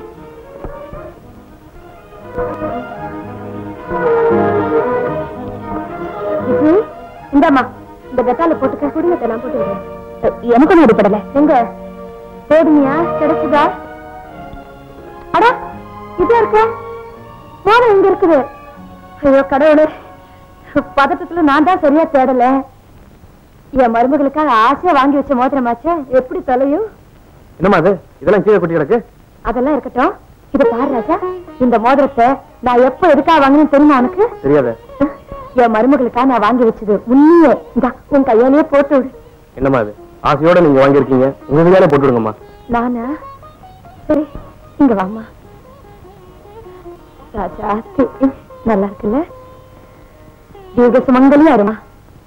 We will instruct our bankers to open LC for 100,000 pounds. நாய் அங்கிள் என்னப்பா? உங்களுக்கு பிசினஸ்க்கு ஸ்பெல்லிங் தெரியுமா? ஓ தெரியுமே. கண்ணா கொஞ்சம் சும்மாத்தியா அண்ட் எஸ் சார் நீங்க கேட்ட ஸ்டேட்மெண்ட் இதுல இருக்கு. மொத்தம் எவ்வளவு ஆச்சு? Sixteen thousand two hundred seventy seven வச்சுட்டு போங்க நான் செக் ஆகிறேன் Basheer uncle Thank you very much for your kind cooperation. Hope to see Yours sincerely. இன்னைக்கே போஸ்ட் பண்ணோம் சீக்கிரம் டைப் பண்ணிட்டு வாங்க. ஆ. டாடி உங்களுக்கு ஸ்பெல்லிங் மிஸ்டேக்கே வராது. ஏன்பா? நான் ஒரு அங்கிள் லெட்டர் எல்லாம் டைப் பண்ணி கொடுத்துடுறாரு. ஆ. கணக்குலயும் தப்பு வராரு பஷீர் அங்கிள் எல்லாம் போட்டு கொடுத்துடுறாரு. என்னப்பா பண்றது? படிக்கிறப்ப நான் ஓரளவுக்கு புரிஞ்சுட்டா இல்லையே? டாடி டாடி நான் நாயர் அங்கிளையும் பஷீர் அங்கிளையும் ஸ்கூலுக்கு கூட்டிட்டு போட்டா? எதுக்குப்பா மிஸ் என்ன கொஸ்டின் கேட்டாலும் அவங்க சொல்லி கொடுத்துருவாங்கல்ல. ஐயோ நாட்டி பாய் ராஜா பிரியாவை சீக்கிரம் வர சொல்லு. நேரம் ஆச்சுல பிரியா? இது வந்துட்டீங்க? வாமா நாலு கடை ஏறி இறங்கி செலக்ஷன் பண்ணுவல டைம் ஆயிடும். விஜி நீ எங்க கூட வரியா? இல்லக்கா நீங்க போயிட்டு வாங்க. நான் இங்கே நான் உனக்கும் படம் வாங்கிட்டு வரேன். வாமா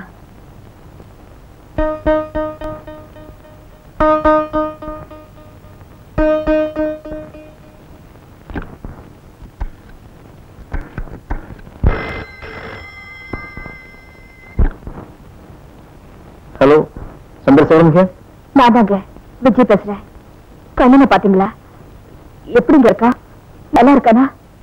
நல்லா இருக்கானா?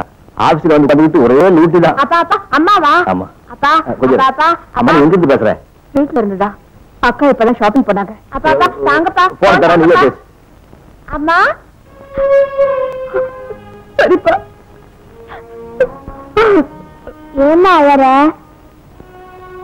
ஏய் விஜய். பைத்திய மாதிரி கலவை.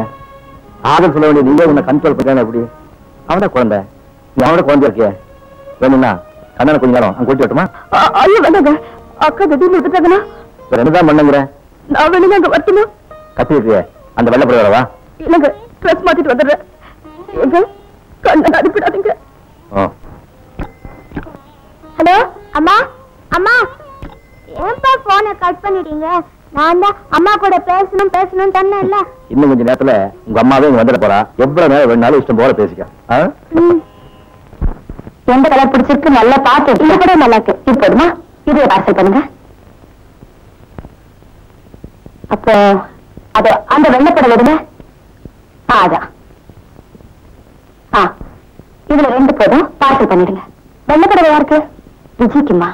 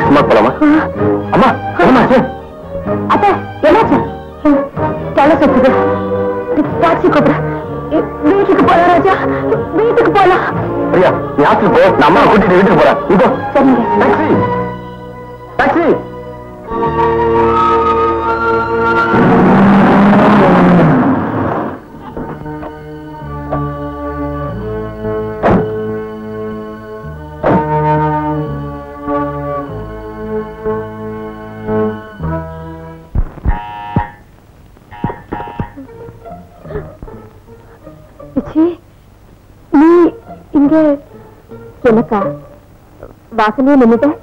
வேற ஒண்ணு சித்தி. அம்மா ஷாப்பிங் போயிட்டு வந்தாங்களே. கொஞ்சம் டயர்டா இருக்காங்க. நீங்க உள்ள அழைச்சிட்டு போங்க. நான் மெடிசன் எடுத்துட்டு வரேன்.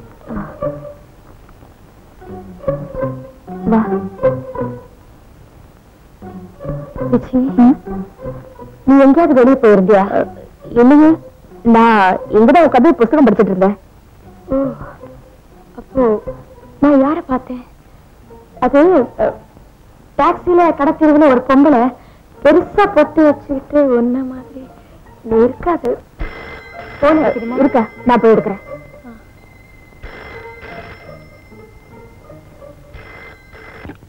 ஹலோ? விஜய் நீ இன்னும் புறப்படலையா? யாரு? டாக்டர் சாரா? அக்கா நல்லதா இருக்காங்க. இதோ என் முன்னாடி தான் உட்காந்துட்டு இருக்காங்க. அது இப்ப கொஞ்சம் வெளியே போயிட்டு வந்ததுனால கொஞ்சம் டயர்டா இருக்காங்க. வேற ஒண்ணும் இல்ல.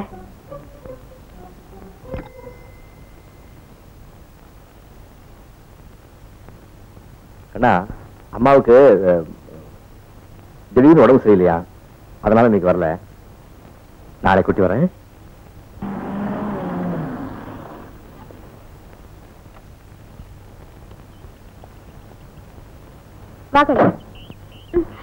டாடி நான் பிரியா ஆண்டி கூட இருக்க மாட்டேன். நான் மம்மிய பார்க்கணும். வாங்க வீட்டுக்கு போலாம். கண்ணா நான் சொல்றத கேளுப்பா. போ நான் கூட பேச மாட்டேன். அம்மாவுக்கு உடம்பு சரியில்லை. கொஞ்ச நாள் ரெஸ்ட் எடுக்கணும்னு டாக்டர் சொல்லியிருக்காரு. நீங்க வந்து தொந்தரவு பண்ணா அம்மாவுக்கு ரொம்ப சீரியஸ் ஆயிடும். எக்ஸ்கியூஸ் மீ மிஸ்டர் சந்திரசேகர் உங்க பையன் இன்னும் எத்தனை நாள் இங்க இருப்பான் மேடம் என் பையனோட அம்மாவுக்கு ஐ மீன் என் ஒய்ஃபுக்கு கொஞ்ச நாளா புத்தி சுவாதீனம் இல்லாம பைத்தியம் முடிச்ச மாதிரி. அதனால இந்த சமயத்துல நாங்க கூட்டிட்டு போறது. We don't permit like this.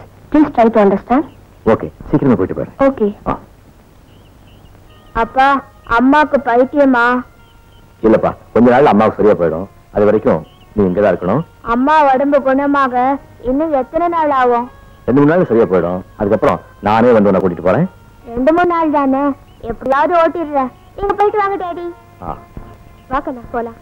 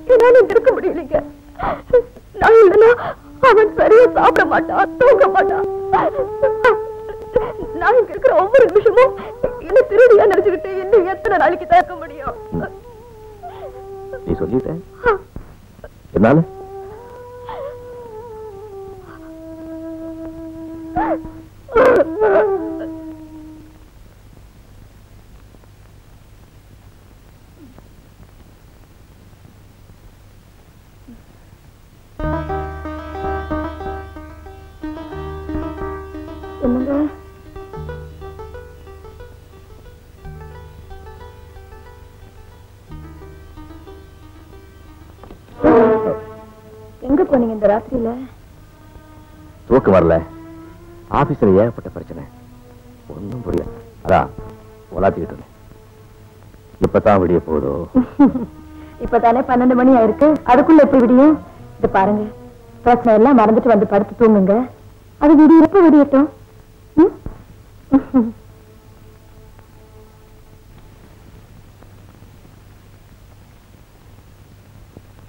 ஐயா? அடடே என்ன முத்தப்பா நல்லா இருக்கியா? நல்லா இருக்கேன் ஆ. என்னங்க இப்படி திடீர்த்து கூட வந்திருக்கீங்க? ஒரு கடவுளாசி போட்டுருந்தீங்கன்னா நான் பஸ் ஸ்டாண்டுக்கு வந்திருப்பேன்ல. முத்தப்பா மகன் ஞாபகம் வந்துருச்சு.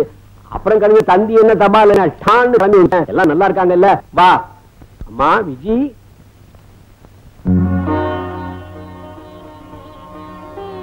ஜானகி.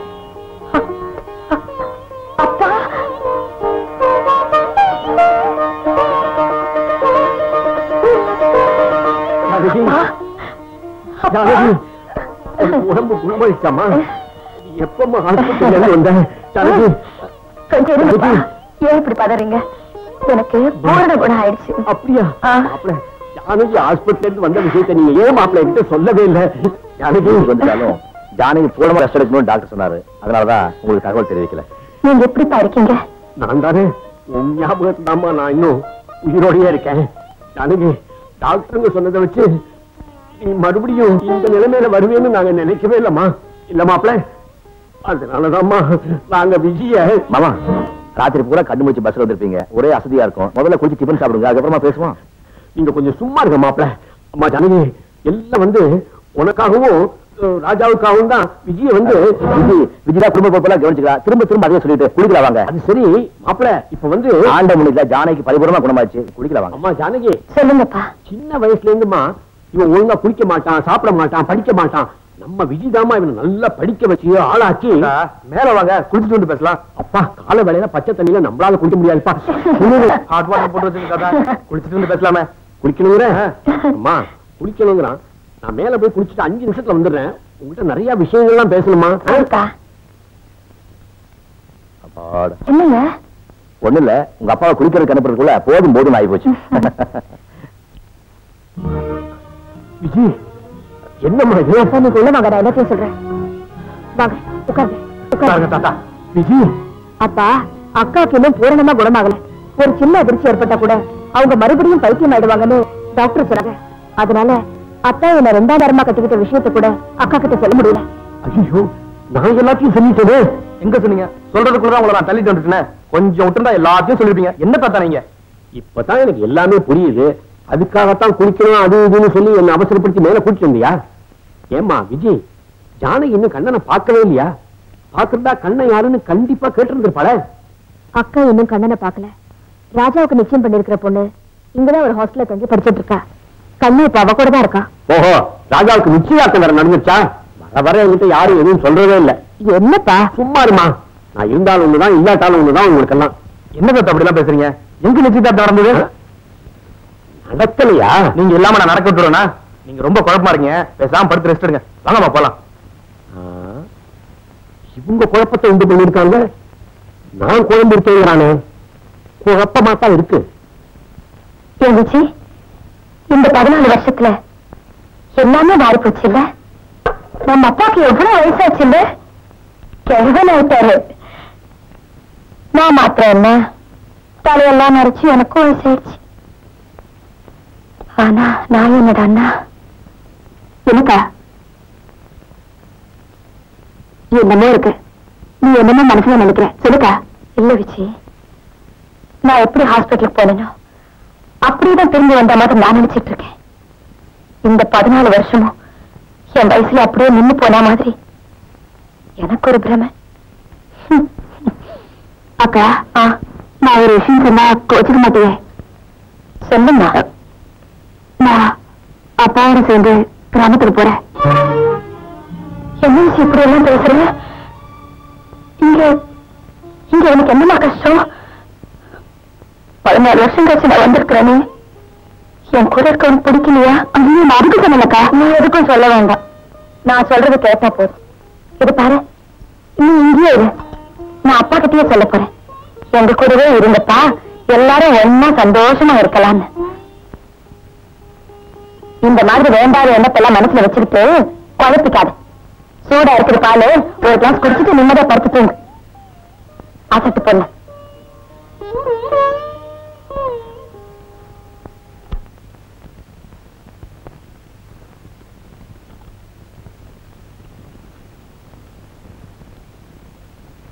என்னங்க? என்னங்க? நம்ம விஜய் அப்பா கூட கிராமத்துக்கு போறேன்னு சொன்னா. அதெல்லாம் கூடாதுன்னு சொல்லிட்டேன். சரிதானே? என்னங்க நான் ஏதோ பேசிட்டு இருக்கேன் நீங்க என்ன எழுதிட்டே இருக்கீங்க. ஃபைல்ஸ் பார்த்துக்கிட்டு இருக்கேன் போய் படுத்துக்க இது பாருங்க இந்த ஃபைல்ஸ் எல்லாம் நாளைக்கு ஆபீஸ்லயே வச்சுட்டு வாங்க. வீட்டு கூட்டிட்டு போறாதீங்க. எனக்கு உங்ககிட்ட நிறைய பேசணும். எல்லாம் நாளைக்கு பேசுவோம். போய் தூங்குன்னு சொல்றேன்ல? ஆஹா, எனக்கு இப்பதான் பேசணும். முதல்ல இது எல்லாத்தையும் நீங்க பிசினஸ்ல ஆயிரம் ப்ராப்ளம் இருக்கும். அதெல்லாம் உங்ககிட்ட டிஸ்கஸ் பண்ண முடியாது. என்ன கொஞ்சம் தனியா இருக்க விடு.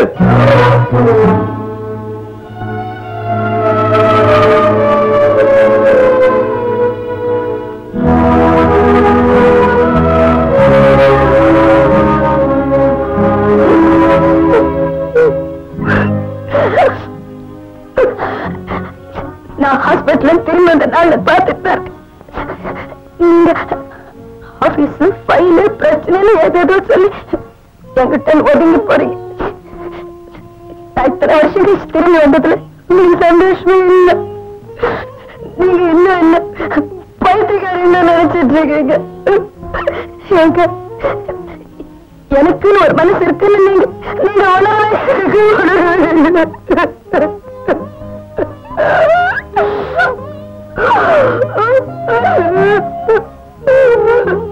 ஜானு நீ உன தப்பா புரிஞ்சுக்கிட்ட.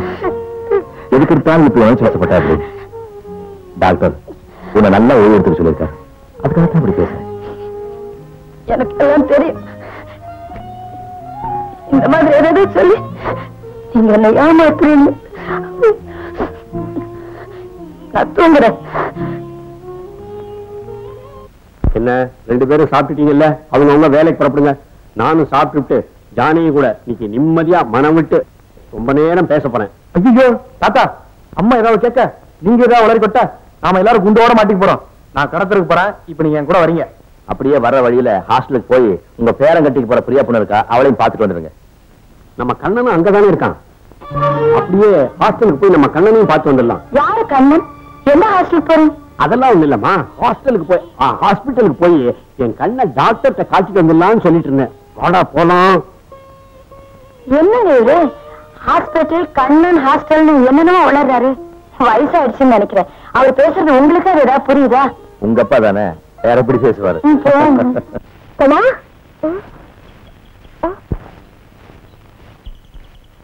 நீ இங்கேயா இருக்க. உன்னை எங்கெல்லாம் போன தெரியுமா? நான் இனிமே இங்க இருக்க மாட்டேன். வீட்டுக்கு தான் போவேன். சரிப்பா. இன்னைக்கு நான் உங்க அண்ணனுக்கு போன் பண்ணி சொல்றேன். அவர் வந்து என்ன கூட்டிட்டு போவார். சரிதானே? தினம்தான் அண்ணன் இங்க வராரு. என்ன எங்க கூட்டிட்டு போறாரு? உன்னதான் கூட்டிட்டு போறாரு. சரி சரி. இன்னைக்கு என்னையும் கூட்டிட்டு போறோம்.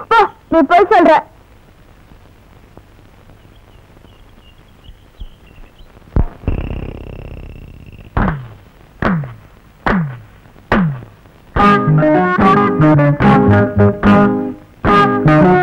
Thank you.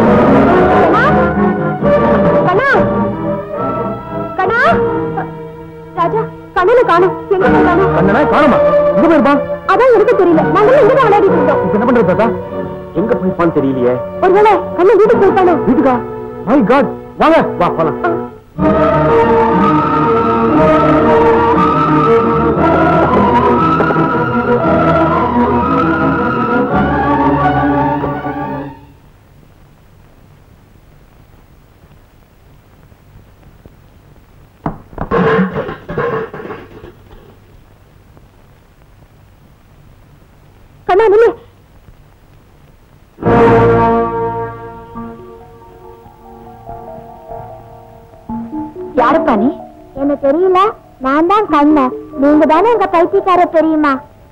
பெரியம்மாவா? உனக்கு யார் சொன்னாங்க? எங்க அம்மா தான் சொன்னாங்க. யார் உங்க அம்மா? இவங்க தான் எங்க அம்மா.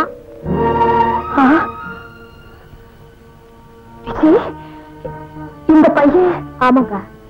கண்ண ஏ மகன் தான் நான் உங்ககிட்ட சொல்லணும்னு தான் நினைச்சேன். எனக்கு கல்யாணம் ஆயிடுச்சுக்கா. உனக்கு கல்யாணம் ஆச்சா?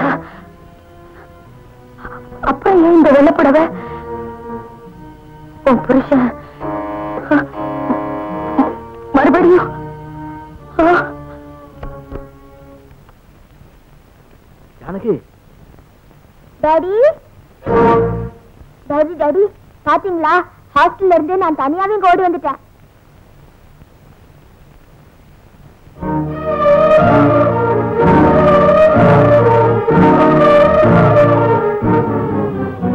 ஜானு நான் சொல்றது கேளு. அவ சொல்றதுதான் உண்மைதான். விஜய் என்னோட மனைவிதான்.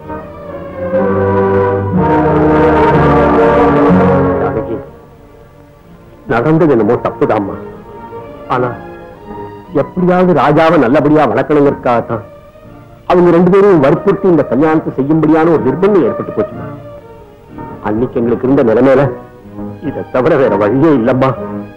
ஆமாமா சித்தியை தப்பா நினைக்காதம்மா. நீ இருந்தா என்ன எப்படி வளர்ப்பியோ? அதே மாதிரி எந்த குறையும் இல்லாம என்ன வளர்த்தாங்கம்மா.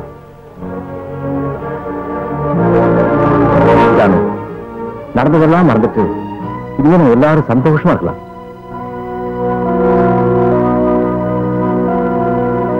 ஏம்மா பேச மாட்டேங்கிற? பேசுமா?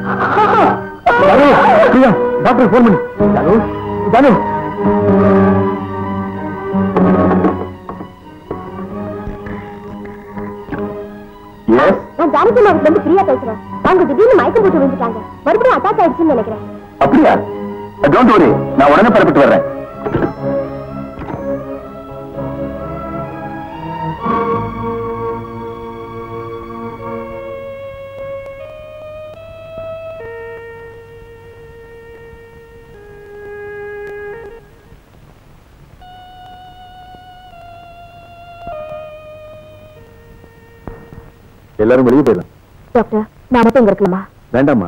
ஜானகி மறுபடியும் எழுந்திருக்க. இன்னொரு பத்து மணி நேரமா தான் ஆகும். வாங்க போலாம்.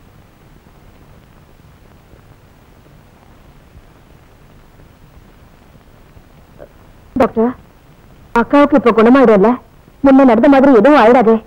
இப்ப எந்த முடிவும் எடுக்க முடியாதும்மா. ஜானகிக்கு சுயநினைவு வந்து அவ எப்படி நடந்துக்கிறாங்கிறத பொறுத்து தான் எதுவுமே சொல்ல முடியும். எப்படியாவது அக்காவை குணப்படுத்துறீங்க டாக்டர். இல்லன்னா இவ்வளவுக்கும் காரணம் நான் தானே என் மனசாட்சி வாழ்நாள் பூரா என்ன சாகடிச்சுக்கிட்டே இருக்கும். பைத்தியகாரத்தனமா பேசாத விஜய். இதுல ஓட்டத்துல எதுவுமே இல்ல. பயப்படாதீங்க. எல்லாரும் தைரியமா இருங்க. சுயநினைவு திரும்பும் போது ஜானகி நார்மலா இருக்கவும் வாய்ப்பு இருக்கு. எதுக்கும் அப்புறம் ஃபோன் பண்ணுங்க. நான் வர்றேன்.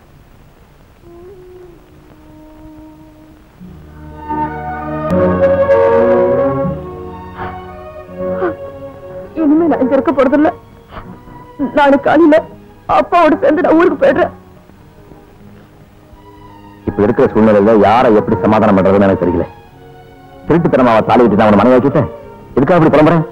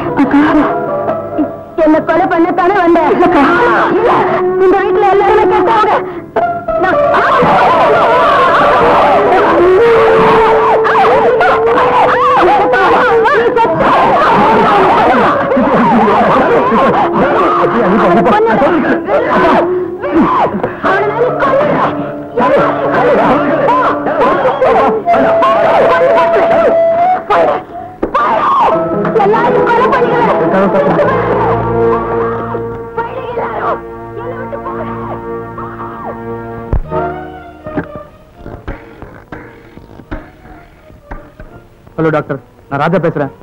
அம்மா மேல திங்ஸ் எல்லாம் எடுத்து உடைச்சிட்டு இருக்காங்க டாக்டர் பயமா இருக்கு டாக்டர் சித்திய கூட அம்மா அடிச்சிட்டாங்க. உடனே வாங்க டாக்டர் ஓகே டாக்டர் பிரியா நீ எங்க போற? அத்தை இருக்கிற பிரியா உனக்கு என்னாச்சு? அம்மா மாதிரி பைத்தியமா பிடிச்சிருக்கு இப்ப நீ மேல போன அம்மா உன்னை அடிச்சு கொண்டுடுவாங்க நீங்க பயப்படுற மாதிரி எனக்கு ஒண்ணும் நடக்காது. இந்த மாதிரி கேஸ் எல்லாம் எப்படி சமாளிக்கிறதுன்னு சொல்லி கொடுத்துருக்காங்க. பிரியா. இத பாருங்க இந்த மாதிரி நேரத்துல யாராவது அவங்க பக்கத்துல இருக்கணும். இல்லன்னா அவங்க உயிருக்கே ஆபத்து வந்துடும் இத பாரு புரியாம பேசுற இப்ப நீ கீழே இறங்கி போறியா இல்லையா? ப்ளீஸ் என்ன போக விடுங்க. பிரியா. ராஜா நீ போமா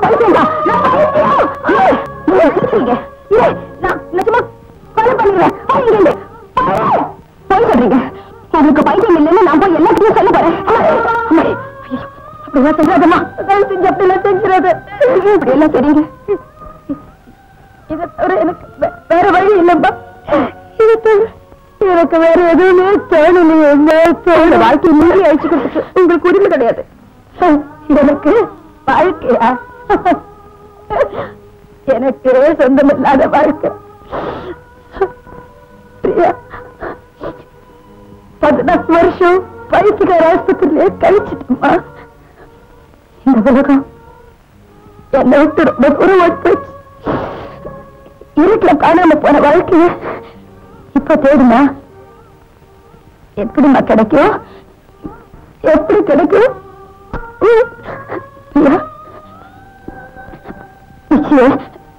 நான் எந்த அளவுக்கு விரும்புறேன்னு தெரியுமா அவ உயிரம்மா அவ என் உயிர். எனக்கு வாழ்க்கை கிடைக்கணும்ன்ற பேராசையில தங்கச்சியோட வாழ்க்கைய அவ குழந்தைய அவ வீட்டை அவ புருஷனை நான் பறிச்சுக்க முயற்சி பண்றேன். என்னம்மா நியாயம்? நியாயமே இல்லைன்னா நியாயமே இல்லை. அதனாலதான் நான் மறுபடியும் பயிற்சிக்கார ஆஸ்பத்திரிக்கு போயிடுறேன் போயிடுறேன் நான் உங்களை பார்க்க மாட்டேன். பிரியா நான் சொல்றேன் கவனமா கேளு.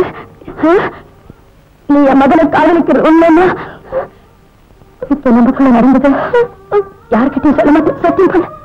என்ன மகமாரி பிரியா பிரியா பிரியா என்ன புரிஞ்சுக்கம்மா இது எனக்காக இல்ல. இந்த வீட்டுல இருக்கிற எல்லாரோட நன்மைக்காக தான். இந்த பரமா நான் பைத்தியம் இல்லைன்ற உண்மையை இப்ப இல்ல. நான் சாகிற வரைக்கும் யாருக்கிட்டையும் சொல்லக்கூடாது. சத்தியம் பண்ணு. மறுபடியும் கையில் நீ சத்தியம் பண்ணிதான் சத்தியம் பண்ணு. சத்தியமா யாருக்கிட்டையும் சொல்ல மாட்டேன். ராஜாத்தி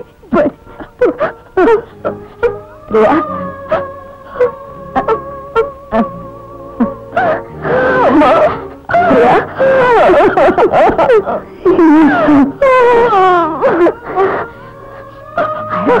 பிரியா அம்மா பிரியா போய் போய்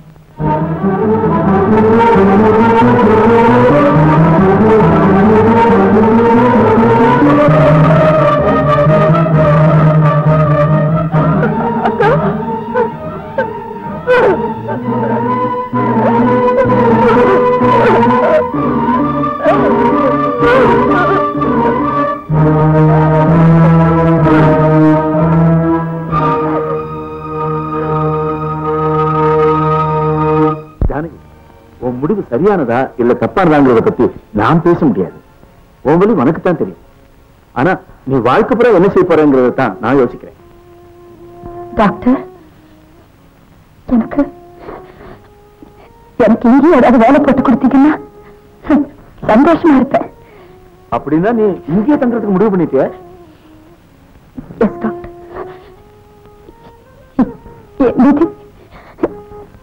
என்னால் இனிமேல் அங்க வாழ முடியாது. ஏன் சொல்றேன்னா நான் இருக்கிற ஒவ்வொரு நிமிஷமும் எனக்கு துரோகம் பண்ணிட்டு தான் நினைச்சு அவங்க எல்லாம் செத்து செத்து பழச்சுக்கிட்டு இருக்காங்க டாக்டர் அவங்க பாக்குறதுக்கு எனக்கு ரொம்ப பாவம் இருக்கு டாக்டர். யாரு? அவங்க எல்லாம் யாரு டாக்டர்? ஏன் புருஷன்? என் தங்கச்சி. நான் பத்து மாதம் சுமந்து பெற்ற ஏன் புள்ள? அவங்க யாரும் கஷ்டப்படக்கூடாது அதனாலதான் கண்டு கட்டாத தூரத்துக்கு இருக்கலாம் இந்த ஓடி வந்துட்டு. டாக்டர் நான் இனிமே இங்க இருக்கேன்.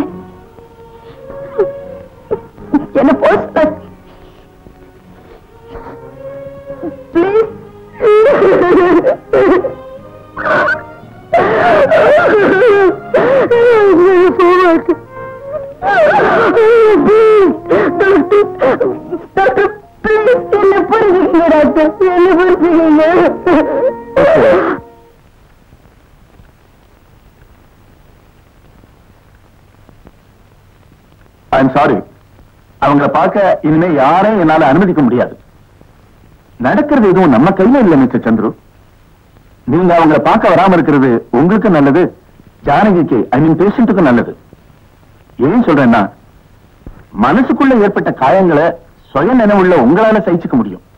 ஆனா சுய உணர்வே இல்லாத ஜானகி மனசுக்குள்ள ஏற்பட்ட காயம் இன்னும் ரத்த காயமாவே இருந்துகிட்டு இருக்கு. உங்களை பார்த்தா அவங்க மனசுல வலி ஜாஸ்தி ஆகிடும். அதனாலதான் சொல்றேன் தயவு செஞ்சு அவங்கள பார்க்க நீங்க முயற்சிக்க வேண்டாம். Doctor I'm sorry please